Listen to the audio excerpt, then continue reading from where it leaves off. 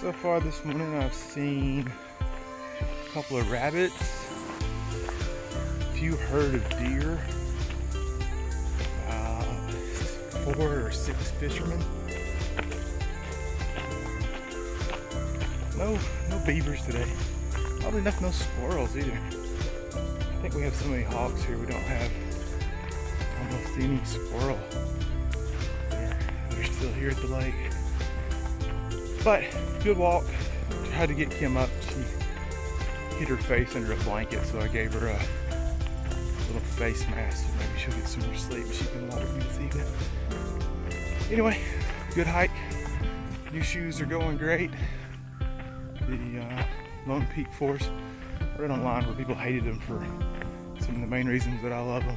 But uh, yeah, good walk.